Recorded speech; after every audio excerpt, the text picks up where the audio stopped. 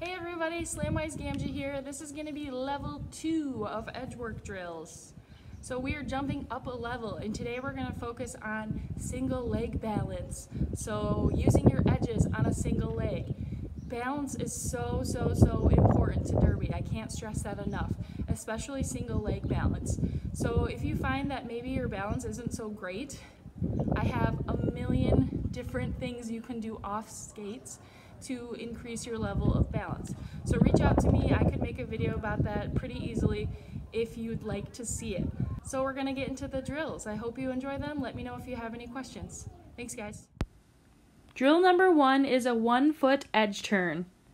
This is a 180 degree turn skating on one foot that only uses your edges. In the video here, I am practicing an inside edge turn, so my weight on my foot is shifted to my inside wheels. This is what allows me to turn, that weight shift. Also practice outside edge turns. This means my weight is shifted to the outside edge and that allows me to turn. Practice both feet because you may have a strong side and a weak side. Practice the weak side more to balance yourself out. Drill number two is an inside edge figure eight. Start off skating balanced on one foot and turn 180 degrees on an inside edge turn. After turning that 180 degrees, you're going to immediately balance on the opposite foot. And once you're balanced on that foot, you're going to do an 180 degree inside edge turn. Doing this, you will naturally make a figure eight pattern. Practice until the transitions are smooth. You could really turn this into infinity. You might have guessed drill number three because we're doing a figure eight again, but this time on the outside edge. So start off skating balanced on one foot and turn 180 degrees on an outside edge. After turning that 180 degrees, balance on the opposite foot and immediately do a 180 degree outside edge turn. You're going to also make a figure eight pattern when you do this footwork. Practice until your transitions are smooth, just like the inside edge figure eight. Drill number four is a one foot cone weave.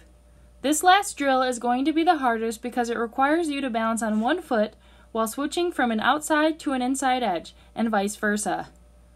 You will need some objects to weave through, and the space between the cones is based on how comfortable you are weaving quickly. As you go through the cones, you're going to have to shift your weight inside and outside to slightly turn. Typically, I set up at least 10 cones, but for the purpose of filming, I have set up 4. Remember, practice both feet. As you get better, set up more cones, go faster, or shorten the distance between cones.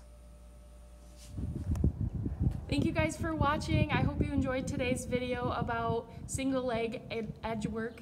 I still have like, I don't know, like a million more things I could teach you about edges. I could probably talk about edge work all day. So please look forward to more videos about edge work and other roller derby things in the future.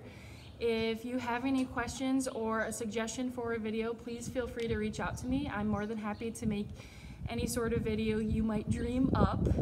Until next time, this is Slamwise Gamgee signing off. Bye, guys.